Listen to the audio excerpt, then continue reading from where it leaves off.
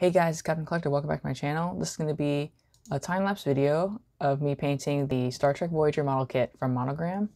And so first I started off in the bathroom downstairs and I had this box um, that I've gotten from shipping and I cut out the top and put in like plastic so it can help let light through. And so here I'm using a primer. It's called Stynylrez.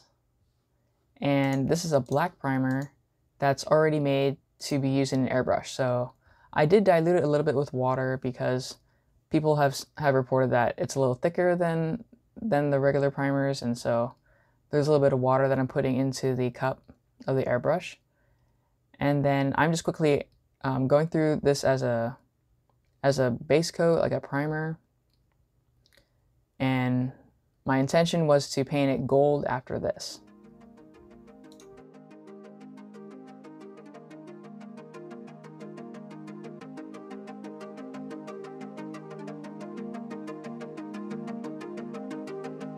Um, this still took about two to three coats of paint.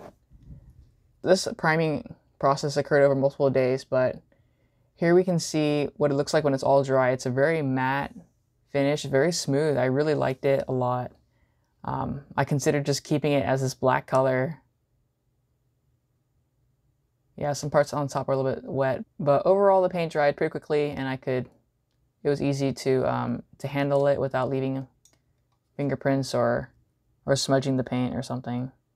But I didn't realize that the my countertops for the bathroom are kind of like some sort of rock. And so acrylic paint's really bad for this. It just it just stains it and it's really hard to get out. So luckily I had all this paper set down and plastic too, but um, I ended up moving to the garage. We got a table to sit over the dog kennel and I just set up everything back into the garage. And there's actually more room so I could actually have both ships out, even though I only painted one um, in the beginning. And then here, I ended up using acrylic paint from P3. It's um, it's a brand of paint, and I'm not sure if I used. I think I used Rhulic Gold, and which I think I intended to use solid gold, but I ended up using a, a darker gold, and um, I ended up trying this on the bottom of the ship first because just in case it it went wrong, you know, it would people wouldn't see the bottom as much if there were like weird layers and stuff. So I ended up painting it um, just with that one pot full of paint, and I ended up seeing that it was a little bit too dark. It was darker than I wanted, and it was actually slightly more green.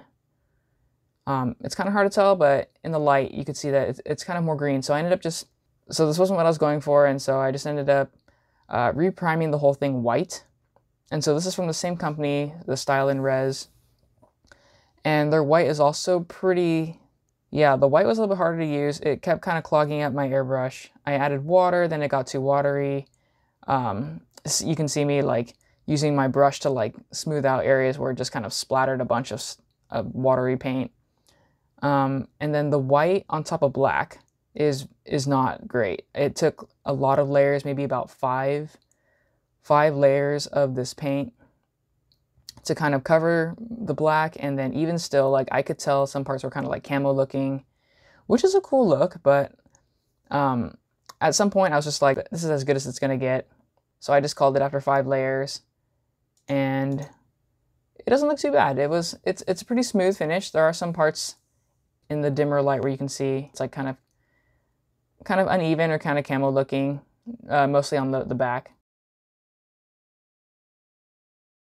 So I decided to go with a glossy black for the base. So the base I ended up painting black and it just looked really, it didn't look very special. It didn't look, it shouldn't like overpower the ship, but I thought it should still kind of have that same shiny or glossness. So the gold paint, I ended up going with Montana Gold, and this is their color M3000 Gold Chrome. Um, I was kind of worried that this would leave fingerprints or something. People would say like, oh, if you press on it, it would like indent and smudge. So I, I really tried to give it the full two days before I flipped it over. And so this whole process was like multiple days. And I think I ended up going with about two layers and then just kind of touching up here and there. Um, but I really like this color. This is kind of what I was going for, a very glossy, a very shiny mirror finish. So yeah, I had to like go back in at different angles and try to make sure I get all the different sides of the windows and underneath all the crevices. But after one layer, it looked really good. Um, so this part, this is actually the navigational deflector. I just looked this up and I totally forgot that I had this last piece, but it's it's clear and I think you could potentially put light behind it and kind of show through, but with a gold chip, it's just this is going to be gold as well. So I did spray this one separately and then I glued it with super glue to the ship after it was dry. Okay, so here, this is what I just kind of thought of last minute to do. Um, I have some leftover felt from a project that I, I didn't use. I used the base from my second ship, which had not been primed or painted yet, just in case I had this white pencil. I didn't want it to get all over the black painted base. So I used the, the second one, which I'll paint over later anyway. And I just traced it. I also traced the insides of the badge, but I ended up not cutting out those pieces because um, it was just uh, a little bit too small and, and it wouldn't really make a difference. So I just left those as is. Okay, so we're back in the garage where I'm, I'm putting them together. And this is what it looks like. All done and painted.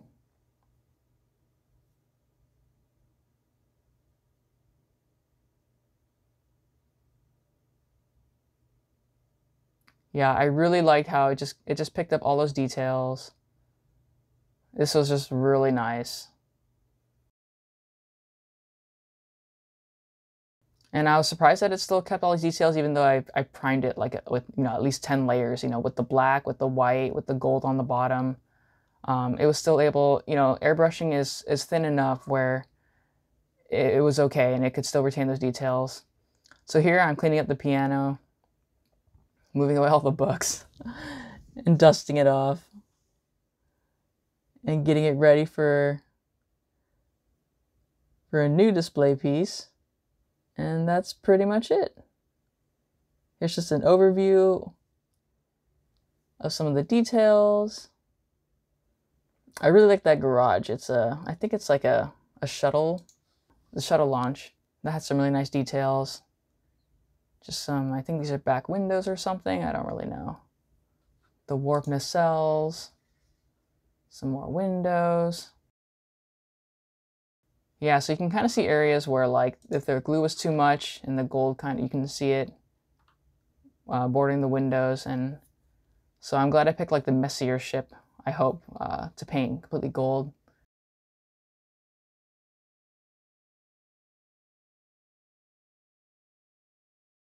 And here's a shot of the bottom. The aero shuttle. The navigational deflector. Here's the stand. Yeah, the gloss just makes it a little bit special, you know? Just a little bit shiny to kind of match with the ship.